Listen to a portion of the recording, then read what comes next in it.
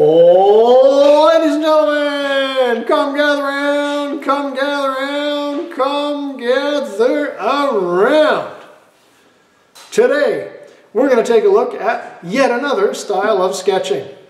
Way back, we sketched some things around the room. And then I showed you very briefly, but didn't assign from you, I showed you very briefly a style of drawing that was straight on like this went off 45 degrees like that and had a fancy name. Anybody remember what the name was? Yep. Howard. Close. It's isometric. No. Yeah. That one's oblique. Nice. Oblique, which is a Latin word which means oblique. Then we drew a style of drawing that looks a bit like this. And remember, anyone remember the $5 word for this one? Yep. Is it oblique? No. Yep. Isometric. Well done. And this one is angled 30 degrees. This one's angled 45 degrees. These are kind of the hardest to draw, but the easiest to understand. The one I'm going to show you today is the easiest to draw, but the hardest to understand. Let's take a look. To make this show up better, I got to lose my background. So, Last day we looked at my crazy awesome 4x4 truck and I got the cool wheels, man, and it's like this time I got a lift kit on it. Oh, I'm hot dogging, man. I got the cab, I got my cool doors, I got my doorknob, I got the big plumber stack so I can roll coal. Maybe I need some springs. There we are. This thing is lifted.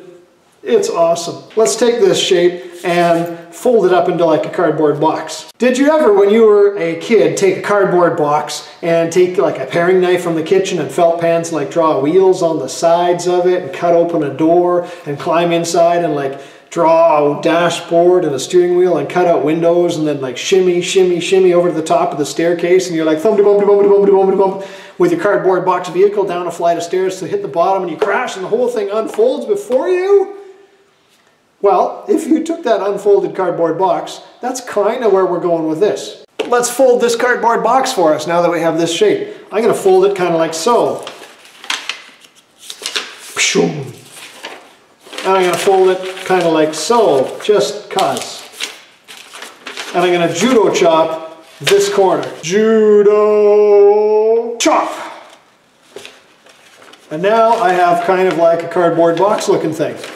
Would you agree, if this was a cardboard box or even the real vehicle, if that's the side of my vehicle, up here would be the top of the vehicle? That would be the top. I'm looking at the side, the roof's up here, that would be the top. Yeah, yeah, okay. So let's draw the top on there. The front of the vehicle's about here, the windshield's about there, the cab's about there, the back of the truck's about there. We got a side going on like this. We got a side going on like that. Maybe on this truck I've got some angling like so. So you can see the sides of the cab, and then I've got, where are the back tires? Looks like the fender wells are here. I got a dog in the back. There's my dog. Your dog looks like it's had a rough day. But that's what he looks like. And now, if we got the top view doing that and the side view doing that, wait, these should be big tires. They should be sticking out. Let's put some big Rutland sized tires on this. It's gonna be awesome. Gotta have some tread on there. Oh, I'm already feeling the love on that one. Okay, now, if that's the top of the truck with the front of the truck here, would you agree that this would be the front of the truck right there? Okay, this is the truck's going that way, should be the front. Truck's going that way, should be the front. That should be the front view. Agreed? Agreed? Agreed? Okay.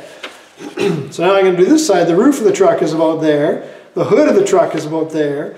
The bumper is about there. The tires are about there.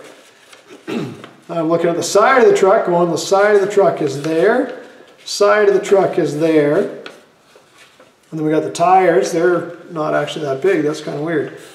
So we got some tires happening. I got some headlights. Maybe this is a really big truck. Oh yeah, lots of headlights. Here's my smiley face inside there. Got to put some tread on them tires maybe a differential in the middle, and my springs. Yeah. Okay. Yep. You forgot the polar stacks. Oh, right. I got my big pipe out back there so I can roll a coal. You should have that sticking up the front too. But then people think I'm wearing a hat. Okay. Oh, we need a grill. It's like an F1200 pickup. Ew, you like Ford? Does anybody? I'm kidding, kidding, kidding. Okay, so we got that happening there. So here's our shapes. We get the side of the truck pointing that way, which means that should be the top of the truck pointing that way, which means that's the front of the truck pointing that way. This should work. These are the three views that I need. And now if I just go,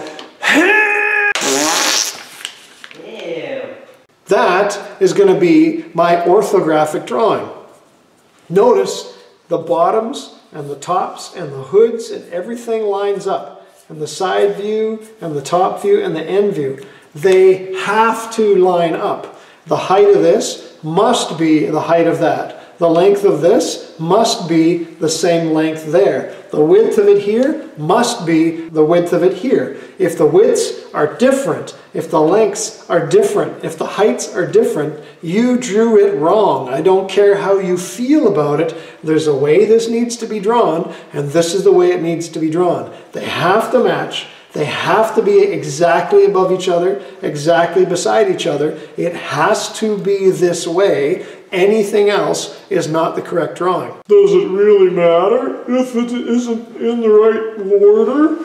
Yes. Example. When you all came into my classroom, did you see my name on the door? Wellwood. Um, Yeah? That's not how you spell Wellwood. What do you mean? I've got all the letters. They are in order. Yeah, but they're not in the correct order. They're in alphabetical order.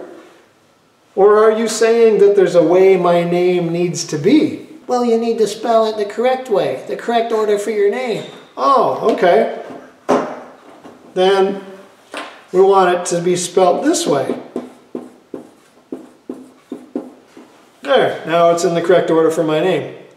Um, how did you do that? I just wrote it. So do an orthographic. We're going to use a different kind of graph paper, but we need to use magic here. And here's how the magic works on this graph paper. We take, I'm going to take the drawing I did last day, and we're going to do the orthographic version of it here.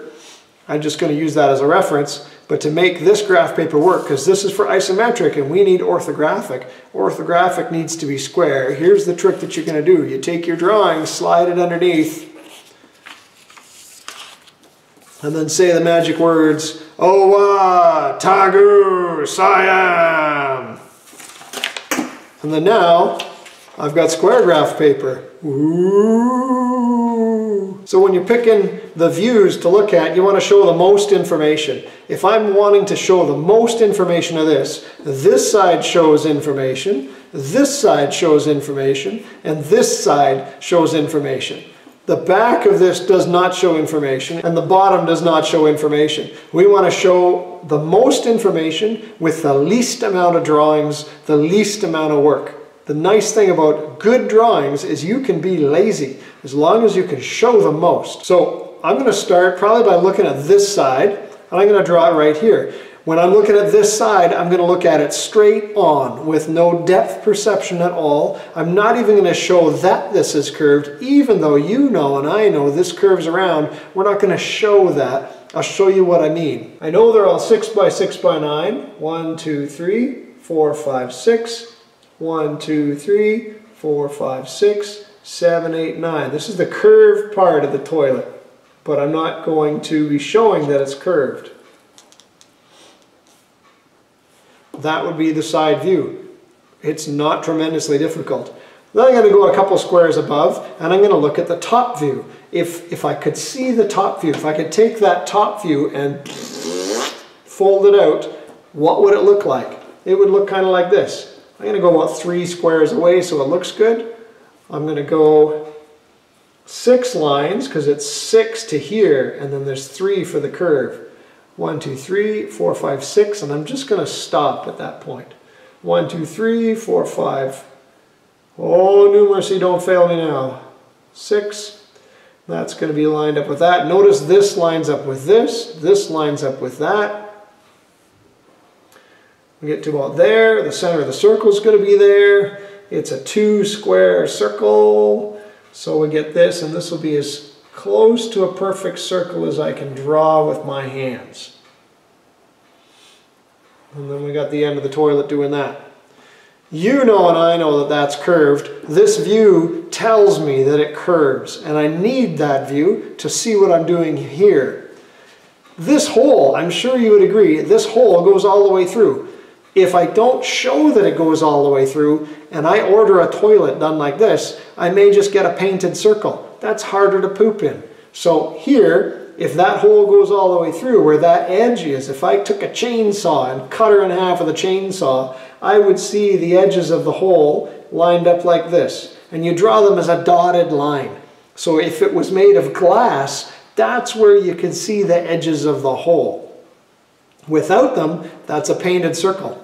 Let's look at the side over here. This end is going to be folded out and put right in place. It's got to be there. The bottom has to line up, so it's going to be going exactly lined up on the bottom. If you don't line it up on the bottom, you're drawing it wrong. That guy's there, he goes all the way across like this. The edge of the circle is one square away from the ends. I need to show on this view that that hole goes all the way through. So that would be complete. The acid test of whether this works or not is this. We're going to fold it just to see. You don't have to fold your drawings, but you should just to make sure you've got this. These are the easiest to draw, but the hardest to figure out. And if this type of drawing kicks your butt, you and every kid, it's fun. Now, I take this, judo chop, judo chop. Now I've got it folded. Sticky uppy bit, sticky outy bit. Sticky uppy bit, sticky outy bit. Sticky uppy bit, sticky outy bit. If the views don't line up, your drawing is wrong. If you need to label it, you're doing it wrong. It's not a Salvador Dali exhibit. It's got to be exactly correct. These line up. If that was your cardboard box going down a flight of stairs, that works. Once we've checked to make sure that these views all work, we can unfold the drawing and hand it in, and we get good marks. Awesome. Brownie points, if you can notice where the one line is missing, I point to it, but it's not there. I'll give you a hint. It's not on that drawing. Something's wrong afoul. Thanks for watching.